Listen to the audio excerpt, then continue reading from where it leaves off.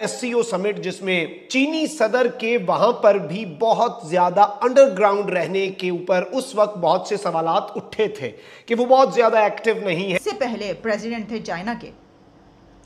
उनके बारे में और उनकी पार्टी के बारे में कहा जा रहा है कि उन्होंने टेक ओवर किया। पाकिस्तान के लिए ये बहुत बड़े कंसर्न की बात है और चाइना में कुछ भी होता है it is very important for us अब नई जो रिजीम अगर आती है चाइना में या इस तरह से कू होता है, क्या वो एक बिल्कुल पाकिस्तान के हमसाया और बरादर मुल्क चीन से अब तक की सबसे बड़ी लेकिन परेशान कुन खबरें सामने आ रही हैं। चाइना के अंदर जो है वो कोई मिलिट्री कू हो गया। शी चिनपिंग के तख्ता उलटने की इतलात इस वक्त पूरी दुनिया के मीडिया में गर्दिश कर रही हैं।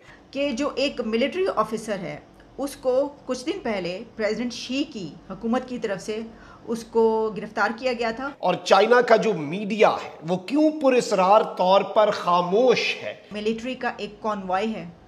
कोई 80 किलोमीटर लॉन्ग कॉनवाई जो कि बढ़ता चला जा रहा है उस तरफ़। अब ये बातें सामने आ रही हैं कि चाइनीज़ प्रेसिडेंट शी जिनपिंग पिछले कुछ दिनों से मंजर आम पर नहीं आए। साहब आपका आयरन क्लैड ब्रदर है आपको ऑल ब्रदर फ्रेंड है आपका लंगोटिया खबर आपके पास होनी चाहिए चीमा साहब। आज तो आप हमें बताएँ कि आपके आयरन क्लैड ब्रदर और लंगोटिया यार तो दोस्तों, आपने ये छोटा सा क्लिप देखा, आप देख सकते हैं किस तरीके से पाकिस्तानी मीडिया में एक हलचल मची हुई है चाइनीज़ प्रेसिडेंट को लेकर।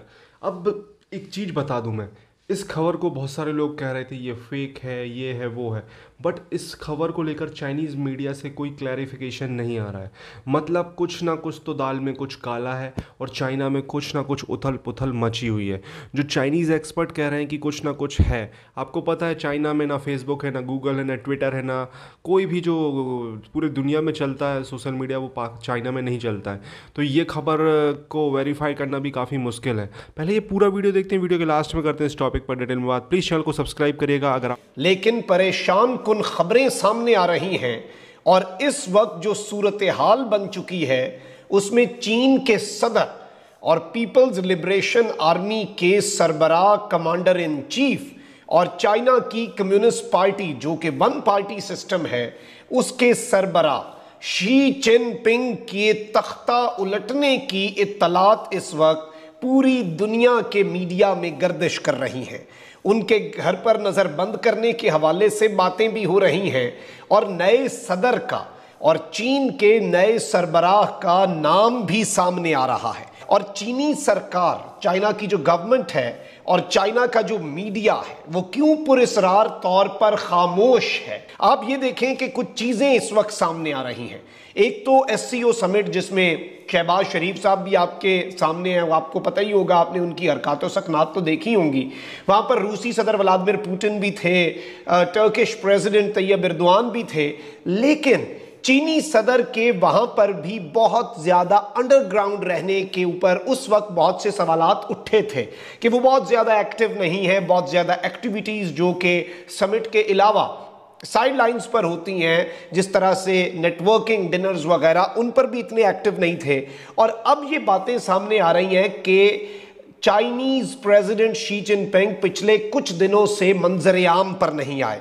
और ये आप सबसे पहले देख सकते हैं कि Xi Jinping is not been seen in the public since getting back from S C O and not even a single visual release for the four days यानी कि चीन के सदर Xi Jinping S C O के summit से वापस आने के बाद कहीं नहीं दिखे।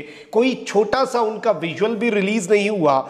Important CMC events like National Defense and Military Reform Seminar and 70th Anniversary Conference of China News Agency were skipped by Xi Jinping.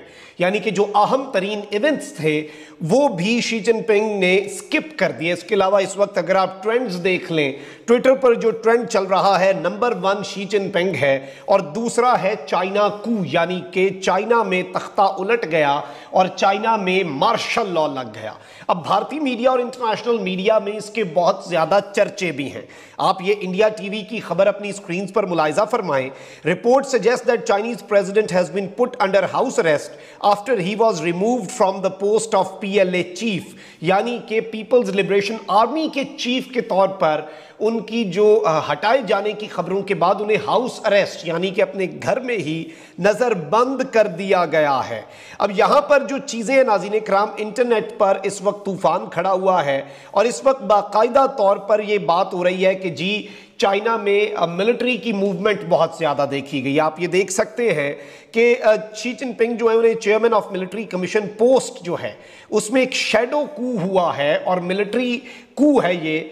उसमें रिमूव किया गया है और कहा जा रहा है कि जी, जो चाइना की स्पेशल फोर्सेस हैं, उन्होंने शंगियांग मिलिट्री एयरपोर्ट पर कब्जा कर लिया है और वहाँ पर उन्होंने गैदर होना शुरू हो चुके हैं और ये ऑर्डर्स हैं ली क्यामिंग के।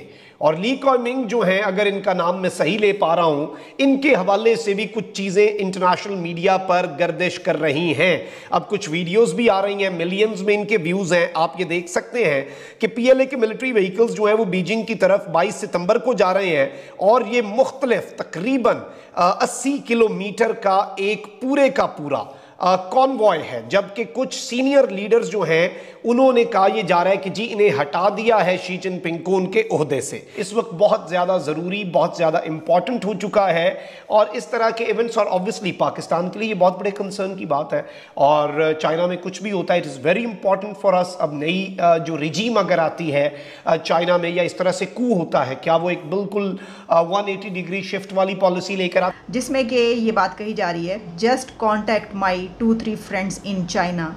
They told yes, there are rumors about uh, President Xi house arrest and military vehicles are around there, but no confirmation till now, and internet is down.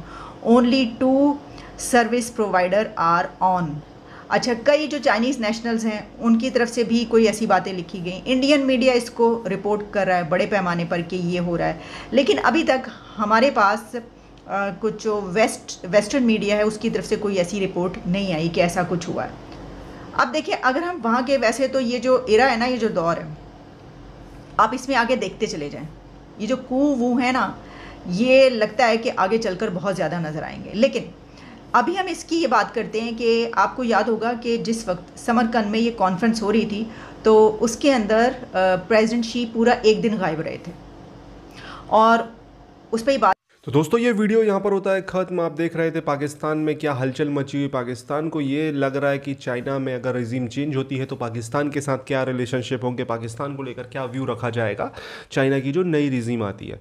अब जो चाइनीज़ प्रेसिडेंट जिंगपिंग का जो अभी SCO summit में behaviour था, उसको लेकर भी अब ऐसा कयास लगाया जा रहा है कि चाइना में कुछ ना कुछ तो गड़बड़ है, जिसकी वजह से उनका ये बिहेवियर कुछ खास नहीं था। आपको बता दें चाइनीज़ प्रेसिडेंट की ना प्राइम मिनिस्टर मोदी के साथ मुलाकात हुई जो कि लग रहा था हो जाएगी क्योंकि जो लद्दाख में डिसएंगेजमेंट हुआ था उसके बाद चाइनीज़ फौजें पीछे गई थी तो ऐसा लग रहा था कि चाइना भारत से बात करने के लिए इंटरेस्टेड है इस वजह से इस, इतने बड़े कदम उठाए गए हैं। बट वहाँ पे ऐसा कोई सीन क्रिएट हुआ ही नहीं।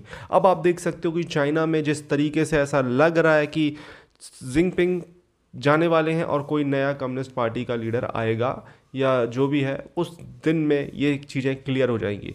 उसके बाद पाकिस्तान सोच रहा है कि पाकिस्तान का क्या होगा? पाकिस्तान की ये मीडिया वाले बात कर रहे हैं कि पाकिस्तान, चाइना जो ये बोलते हैं, हिमालय से ऊँची, समुद्र से गहरी सहज से मीठी, ऐसी दोस्ती की ये मतलब ऐसी कुछ बातें करते हैं पाकिस्तानी तो अब उसका होगा क्या? इस बात को लेकर पाकिस्तान में काफ़ी चिंता है।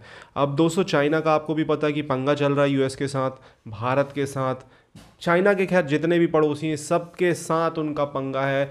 ज़मीन विवाद को लेकर इवन रशिया के साथ तक वो रशिया का बहुत सारा एरिया क्लेम करते हैं।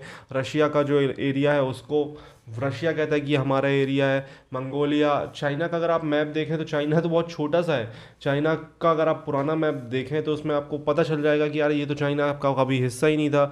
मैं बात कर रहा हूँ तिब्बत की, मैं बात कर रहा हूँ ईस्ट तुर्किस्तान की। मंगोलिया का बहुत सारा इलाका, ऊपर का बहुत सारे मतलब ऐसे इलाके हैं जिसको चाइना दबा कर बैठा हुआ है तो ऐसे कई इलाके हैं। अब आपको क्या कहना है इस टॉपिक के बारे में? प्लीज़ कॉमेंट में अपनी राय दे चैनल को सब्सक्राइब करें, वीडियो को शेयर करें। जय हिंद।